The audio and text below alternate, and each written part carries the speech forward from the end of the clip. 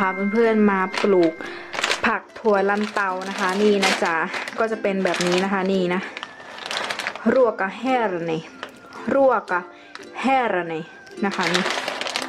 มันจะเป็นภาษาฟินนะคะ อันดับแรกเราก็จะมาแช่ก่อนนะคะเพื่อนๆแช่น้ำนะ อันนี้ไปซื้อมาประมาณ 1 ยูโรนะคะ1ยูโรนิดๆก็แพ็คละประมาณ 30 กว่าบาท35 38อะไรประมาณนั้นนะคะ มันจะเป็นถั่วแบบนี้นะ ถั่วลันเตานะ กินกับอะไรก็อร่อยนะ กินกับอ่าเอาไปกินกับกสลัดก็ได้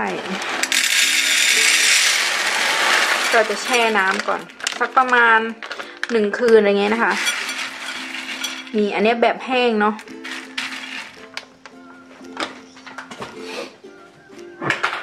แช่น้ำนะคะ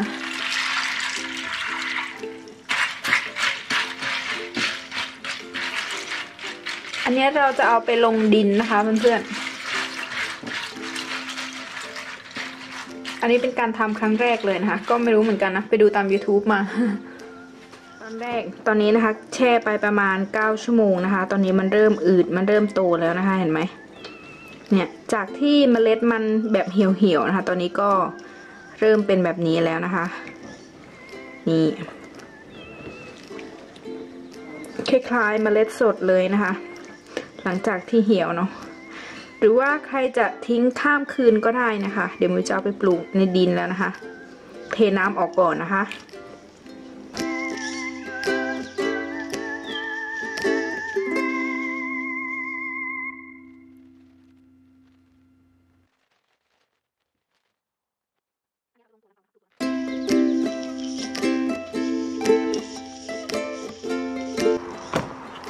นี่นะคะคือดินที่เราเตรียมไว้เนาะ เราจะเอามาโรยเลยนะคะ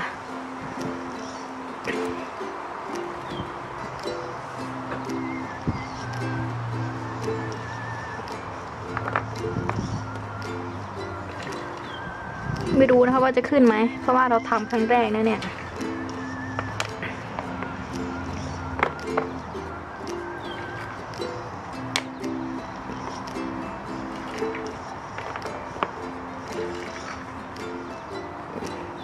ใส่ไปเยอะๆ กลัวบางลูกอะไรเงี้ยเนาะ มันไม่เกิดให้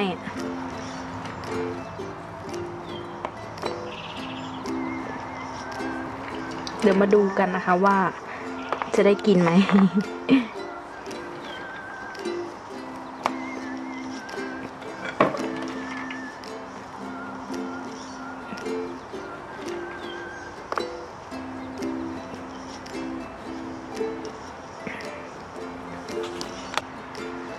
อเสร็จแล้วนะคะ เราก็จะมาโรยดิน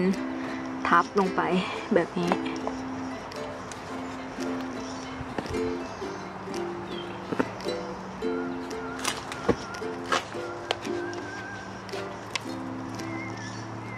เดี๋ยวพอมันงอกเราจะ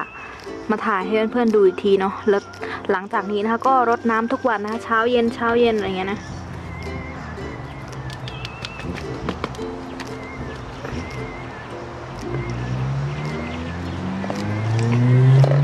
ก็จะเอาไว้ข้างนอกบ้านนี่แหละ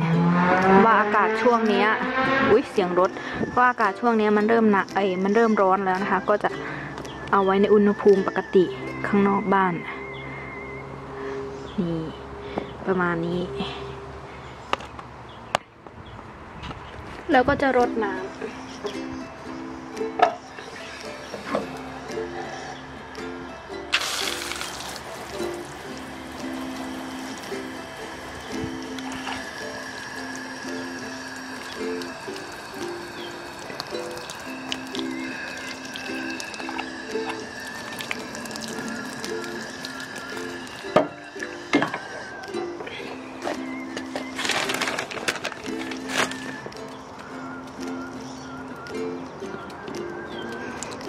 รือว่าใครจะบ่มให้มันเกิดก่อนก็ได้แล้วค่อยเอามาลงก็ได้นะคะ แล้วแต่เนาะเราจะใช้วิธีนี้คือการเอามาปลูกเลยนะคะ แค่นี้นะคะ เดี๋ยวมันงอกเดี๋ยวมันจะเดี๋ยวเดี๋ยวงอกนะคะ จะถ่ายให้ดูอีกทีเนาะยังมีเหลือนะคะ เราก็จะมาเพาะในกระถางแบบนี้นะคะ อันนี้เป็นถังโปรตีนของสามีนะมีเยอะมากมิวก็เลยเก็บเอาไว้นะ มาปลูกพวกผักพวกอะไรเนี่ย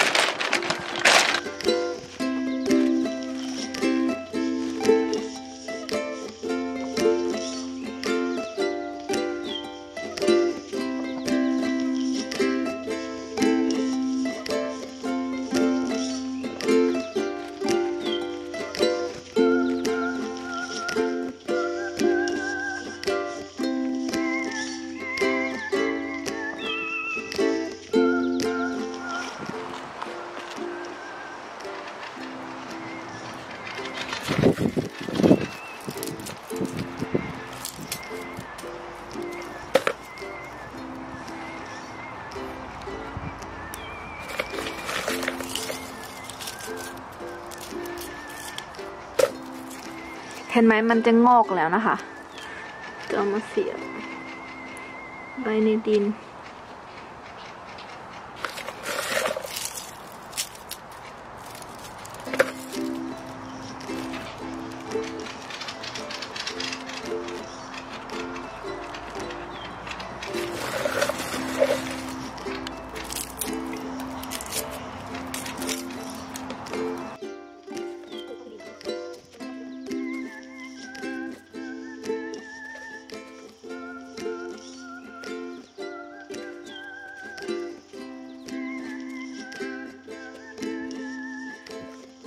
ถั่วลันเตานะคะเพื่อนๆค่ะนี่เนาะก็จำไม่ได้แล้วนะคะว่าเกี่อาทิตย์แล้วนะคะ เดี๋ยวจะขึ้นไว้ให้เนาะเดี๋ยวมิวต้องไปดูปฏิทินอีกทีนะคะ ว่ามันกี่วันแล้ว นี่นะจ๊ะกระถางเนี่ยคือใส่เยอะมาก มันก็เริ่มแล้วนะคะนี่เห็นไหม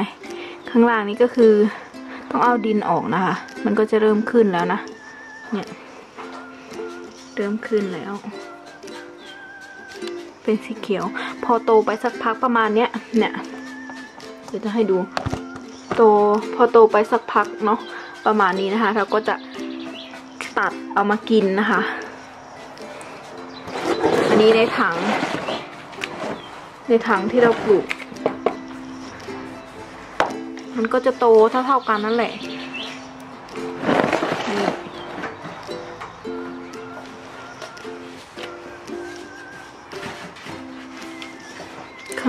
ก็จะเกิดหมดเลยนะ ถ้าเราเปิดดินเข้าไปเนี่ยมันก็จะเห็นไหมเยอะนะคะ แต่นี่คือมันพ้นดินมาแล้ว นี่ ถั่วลันเตานะคะ นี่อัปเดตเนาะตอนนี้ก็เมื่อวานก็ถ่ายให้ดูแล้วนะคะ วันนี้ก็ถ่ายอีก ก็จะประมาณนี้นะคะเพื่อนๆค่ะ โตเร็วมากประมาณ ห้าหกวันเจ็ดแปดวันอาทิตย์หนึ่งนะคะ เนี่ย คือดีมากเลย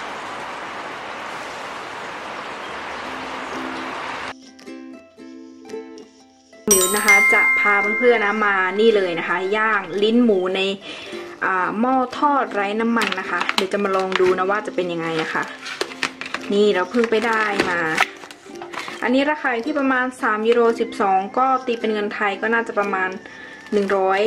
อยบาทร้อยนิดๆนะคะร้อยห้าบาทอะไรประมาณนั้นเนาะนี่นะคะ เดี๋ยวเราจะมาลองเอาไปทอดในกระทะไอในหม้อไร้น้ำมันดูนะคะ ว่าจะเป็นยังไงนะคะ นี่นะ เดี๋ยวอันดับแรกหนูก็จะไปล้างก่อนเนาะ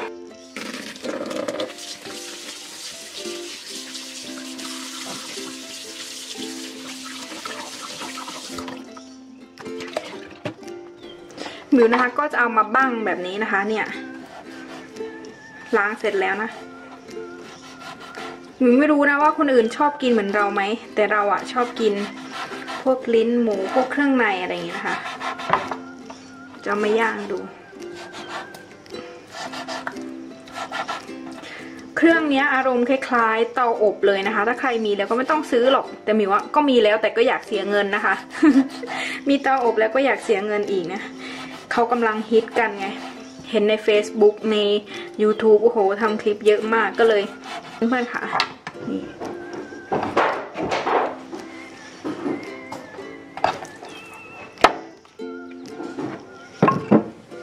แล้วเราก็จะหมักด้วยพริกไทยผักชีรากผักชีนะคะ แล้วก็กระเทียมเนาะหมิวไม่มีรากผักชีนะคะ ก็เอาผักชีธรรมดาเนี่ยแหละมา มาตำนะคะ ก็มาหมักเนาะปรุงรสด้วยซอสอะไรด้วยก็ได้นะคะนี่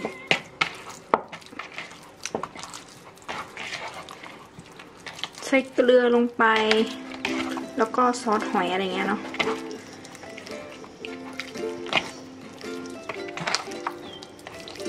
แต่มิวนะคะจะใส่ซอสเกาหลีนะคะ มาม่าเผ็ดเกาหลีอะใส่เกลือลงไปนิดนึงนะคะ มันจะได้แบบมีรสชาติหน่อยเนาะ ต่อไปนะคะก็จะใส่นี่เลยนะคะ นี่ ซอสมาม่าเกาหลีอะมันหอมดีนะ เพิ่มสีแดงนะคะ ให้มันแบบมีความเผ็ดนิดนึงอะไรเงี้ยนะคะ ไม่ต้องใส่เยอะหรอก ใส่ประมาณนี้แหละ แล้วก็ใช้มือเลยนะคะ ใส่ถุงมือก็ได้นะแต่เราทำกินเองนะแล้วก็ทำแบบนี้เลยนะคะ โห สีมันก็จะเวลาสุกไปมันก็จะเป็นสีแดงนะ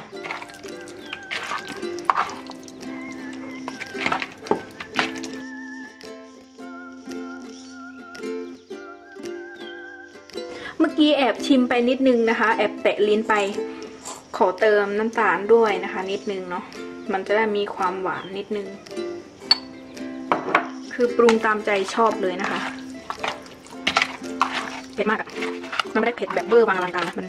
พอดีอะนี่นะคะ ที่เราจะมาใส่ลงไปเลย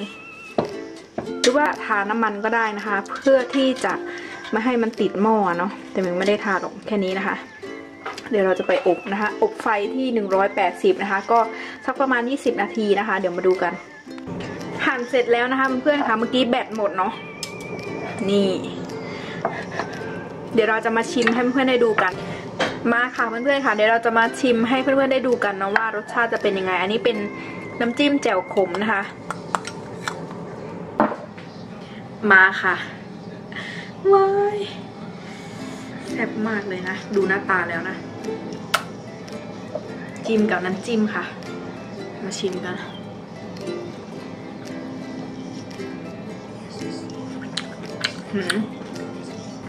น้ำจิ้มแบบขมๆอะอร่อยมากหม้อเนี้ยมันดีนะ เหมือนมันรีดน้ำมันจากแบบเนี้ย เนื้อหมูเนื้ออะไรต่างๆนานาอย่างเงี้ยเหมือนมันรีดน้ำมันออกนะคะ อร่อยอะ่ะ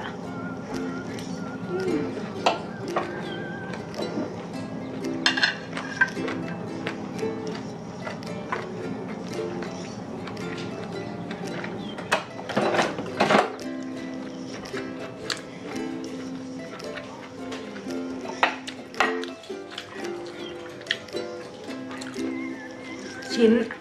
แบบใหญ่มากทำเสร็จปุ๊บ พร้อมกินโชว์ให้ดูเลยนะคะ ดูเนื้อข้างใน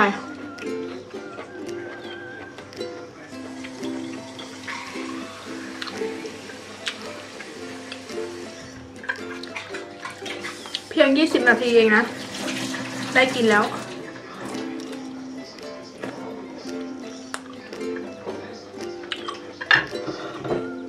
กินไหมมิกะ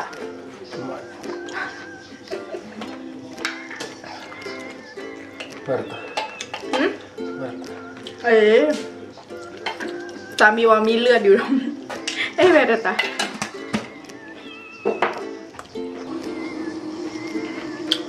คำสุดท้ายแล้วอืม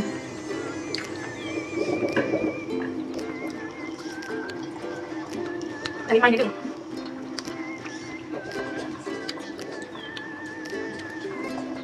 นี้ขอเป็นคนนะคะ